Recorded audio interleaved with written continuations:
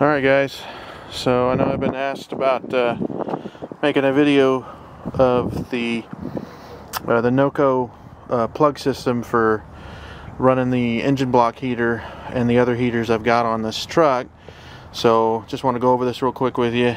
Um, this is the dual outlet. The normal one they sell is a single, but they do have a dual plug version, which is what this is. Uh, just, you know, mount your holes or you know cut the cut the hole. It's a two inch uh, drill bit to uh, to cut the hole out with. And then uh, those are M4 bolts that I used. It didn't come with any bolts so kind of used my own there. Uh, and, then, and then nuts and stuff on the back washers and whatnot. And then that's rooted up to in here. Comes through the gotta get the focus to, there we go uh, new camera, so figuring this out. But you can see where the plugs come in right there, and then I've got them uh, zip tied to the um, to the little battery holder bracket, just to make sure that that's uh, that uh, that they don't fall down into the tire area. Because obviously I've had to make modifications for the tires on this truck, be so big. Uh, but both heaters that I've got right now on here, one of them is the engine block heater plug, which is down there. Um, Again, trying to get this to focus right. Uh, way down there, it's that plug-in block heater kit. Uh, Mopar and a bunch of other ones sell it that plug into that. And I think the cord was like four and a half, five feet long or something. I've just got it zipped up right now. Engine bay's a mess. I need to kind of clean stuff up.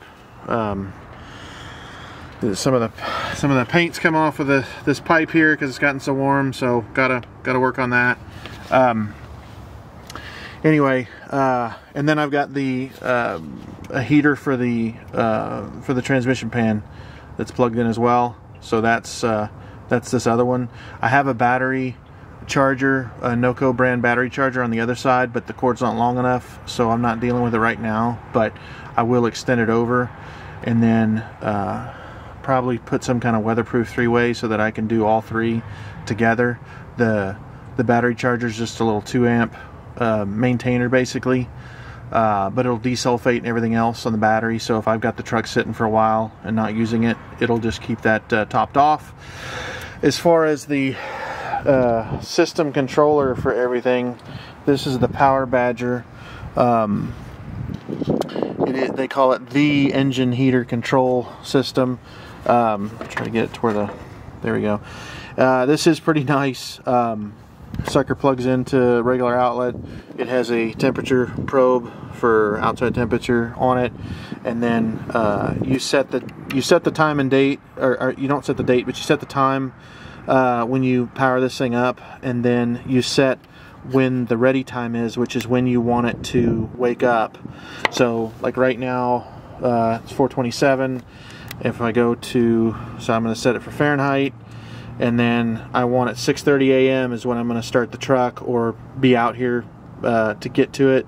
So I want it to be ready by then. And then if I'm not there at 6:30, I want it to have a four-hour maintain, so it'll continue to power the heater uh, on and off and for four hours. And then after that, it goes it'll just stop uh, stop running the heater. So if I just decide not to go anywhere that day, it will uh, it'll stop doing that. Then you got other modes you can just directly control and turn it on the heater straight on with the mode button, um, or you can tell it that you want it to go through the uh, you want it to do just the maintain only and just uh, full you know full blast power it. This is a weather resistant box. It's got a battery inside for uh, for remembering your settings when you unplug it. Um, and it's supposed to be mounted, it can be mounted in the truck like engine bay. The problem is then when it gets warm, it's going to take a while for the sensor to to uh, to get the temperature outside. So uh, I've heard it suggested that you might want to mount it like inside or behind the bumper or something where it's getting colder outside air. Um, and then I've heard some say, well, then put it inside the engine compartment, and by the time it gets around to two or three o'clock when it starts firing up, it will uh, it'll be cold enough in there to know. So I don't know. I haven't decided what I'm going to do with that yet, but either way, it uh, it just comes right around and plugs in right there. So I'm just going to reach around here and pop this cover off, and you can see the plug and I just plug it in and then over here I just have to finish turning it on. So it's, there we go.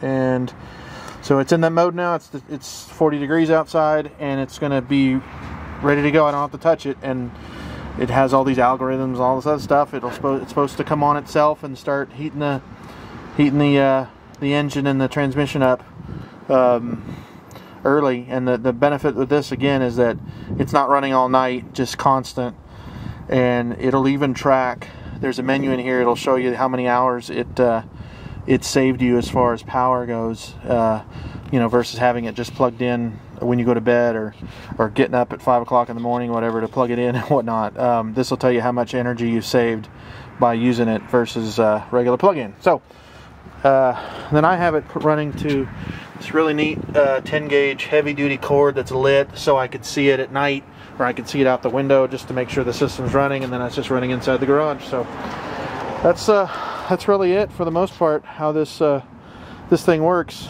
Um, you know I've got all of the links in the uh, in the Facebook pages for all the stuff I've used or whatnot and uh, if I make this a YouTube video I'll put all the links in there as well.